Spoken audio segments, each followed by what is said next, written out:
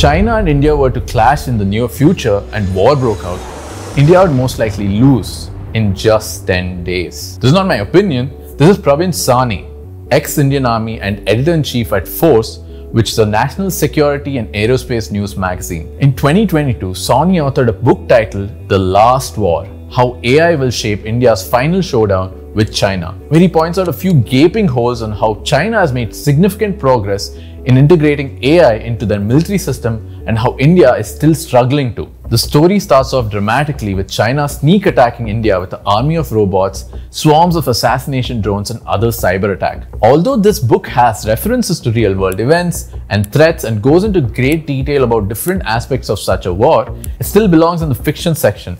But it raises an important question. Where is India currently in terms of integrating AI into its defense systems? Is it already happening? If yes, what are these tools we have built? For you engineers out there, how can you get more involved in building defense tech for the Indian military? दूर का दिन नहीं होंगे जबकि artificial intelligence dominate करेगा Now, AI in the military sounds pretty cool and powerful, but it's not only going to be used on missions and on-field activities, but very much in complex running of the entire defense system as well. Some of the domains where AI tech can directly be applied are surveillance at the borders, supply chain management for artillery, combat and training, command and control, and reconnaissance. AI integration will help military reduce casualties, identify threats faster, increase accuracy and crunch data to arrive at faster and more informed decisions in situations where time is of the utmost value. But India is not alone in the quest for AI powered military. The US Department of Defense budgeted $1.8 billion for the research and development of AI in the defense system. They even appointed a chief digital and artificial intelligence officer in their defense system. So they're pretty serious about this. They even have a multi decade phase wise plan on how AI and robotics can be integrated into every facet of the US military operations. Russia, on the other hand, used AI powered drones in their recent invasion of of Ukraine and are deploying remotely piloted tanks like the Uran 9 and Vikhr. In the words of Vladimir Putin, whoever becomes the leader in the sphere of artificial intelligence rules the world. AI has already entered the military and defense space in a significant way, and India is pretty serious about it as well. You can hear it not from me, but the Prime Minister himself.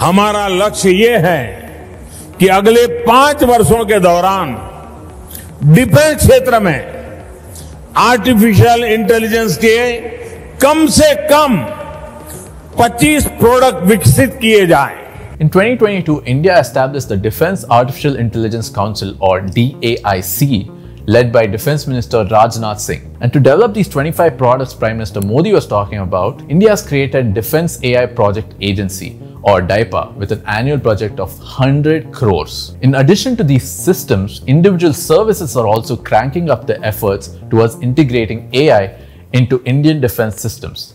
The Indian Navy, for example, has created an AI and Big Data Center of Excellence in INS Valsura in Jamnagar. They already have 30 ongoing AI projects in the domains of maritime domain awareness, perimeter security, decision making, predictive inventory management, etc. The Indian Army has also established the AI Center for Excellence at the Military College for Telecommunications Engineering. Moreover, the Defense Research and Development Organization or DRDO has application oriented AI research going on at two dedicated labs Center for Artificial Intelligence Research or CAIR and DRDO Young Scientist Laboratory, both located in Bengaluru. The Army Training Command is developing its own simulation based technology called WARDEC, which stands for War Game Research and Development Center. It's the first of its kind training center in India that utilizes VR and AI to train our forces in warlike scenarios. On July 11, 2022, Defense Minister Rajnath Singh launched 75, not 25 as Modi said in the video, but 75 newly developed AI products at the first ever symposium and exhibition on artificial intelligence in defense in New Delhi. For example, the SAPO system, which is basically an unmanned ground vehicle that can detect ground mines and mark them with an illuminating spray that can be seen in the dark as well. Silent Sentry is an AI robot mounted on a rail that can be used for surveillance along border lines. It can also be attached to a loaded gun that is auto-fired during intrusions.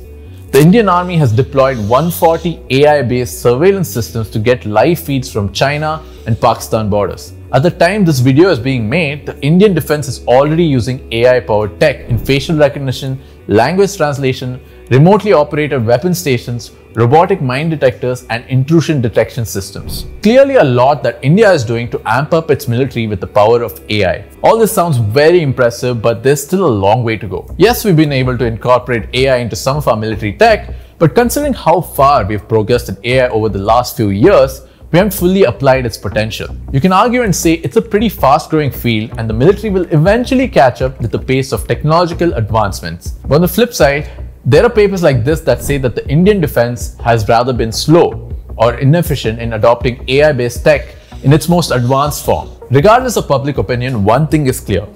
AI in the military is a space that is open for innovation and ideas, and as an engineer, you can directly create an impact here over the next few years. As an engineer, there are two main ways you can have a career in defense tech. One is by joining a defense public sector union or DPSU. These are organizations like the Ministry of Defense or Hindustan Aeronautics Limited and DRDO. The way to get a job in these organizations at a good position is to appear for the graduate aptitude test in engineering or the GATE exam and secure a good score. And this is after you're done with your BTech or MTech. There are maybe just 160 vacancies for engineers every year, so it gets very competitive. Second is by working at a private company or a startup that specializes in defense technology. There's Tonbo Imaging, IROV, Optimized Electrotech, Big Bang Boom Solutions, and a few more that are involved in this field. A quick Google search can help with what else is out there. At DPSUs, one starts out with a standard salary of 56,100 rupees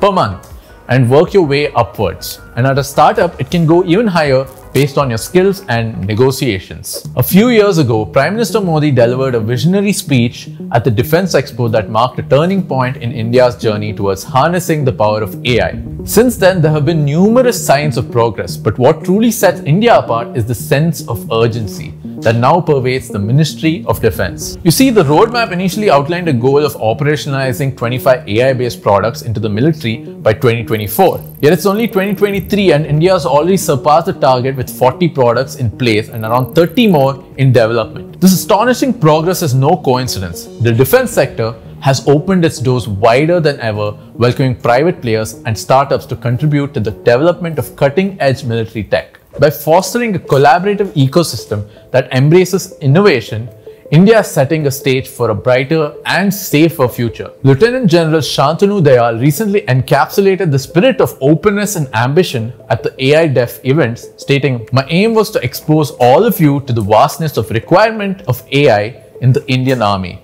and we'll be accepting all such proposals, all such ideas with open arms. Ladies and gentlemen, this is a call to action for all of us.